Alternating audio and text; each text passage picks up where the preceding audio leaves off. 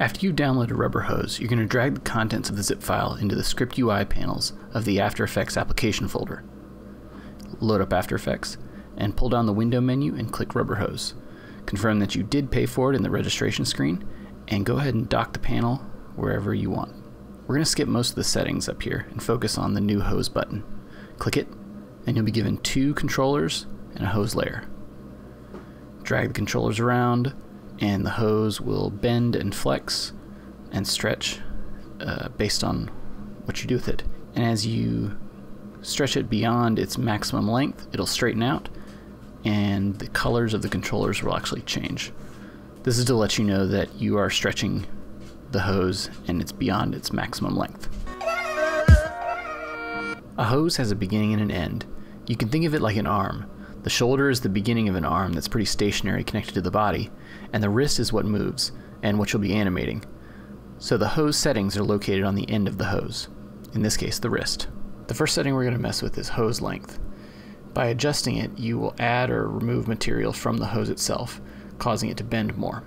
RubberHose doesn't use bones or anything like in traditional IK, so the method of bending actually comes from the length of the hose. The longer it is, the more it has to bend as the controllers get closer to one another.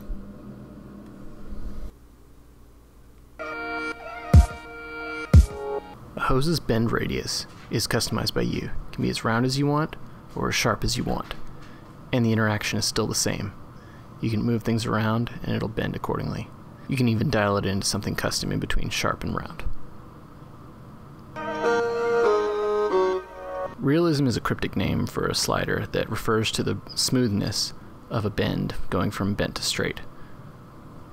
When you set it up to 100%, you start to notice a snapping happen. The term realism refers to the mathematical accuracy that is preserving the length of these two sections.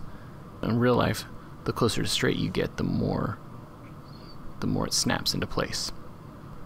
It usually works best to set it to somewhere in between 0 and 100, but it just depends on the effect you're trying to achieve. In traditional IK, a bend can only face one direction or the other, and there's no real easy way to go in between. But since we're not using traditional IK, you have full control over the direction it's going and all the space in between. This is really useful for perspective and direction changes. As you probably noticed by now, the controller ends will dynamically rotate based on the bend of the hose itself. This was designed specifically so that you could parent layers to the ends of a hose. So for this we're going to take the hand, parent it to the wrist, and zero out the position data. Just rotate it till it lines up accordingly.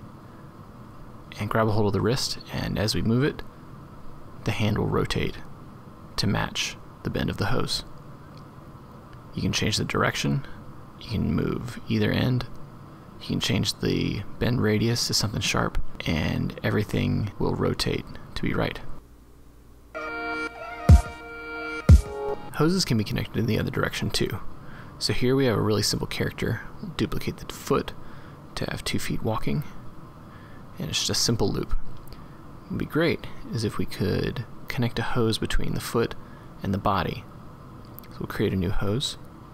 We'll drag the ankle controller to the foot, where it ought to be, and we'll take the hip and we'll connect that. We'll place that on the body where it needs to be. Tighten up the hose length because that's the furthest extension. And parent the hip to the body and parent the ankle to foot one.